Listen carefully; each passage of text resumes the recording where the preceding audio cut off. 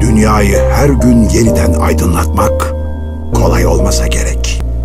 Kararlılık, fedakarlık, azim ve cesaret ister. Anadolu Ajansı'nın hikayesi doğru haberi ulaştırmak için gecesini gündüzüne katanların hikayesidir.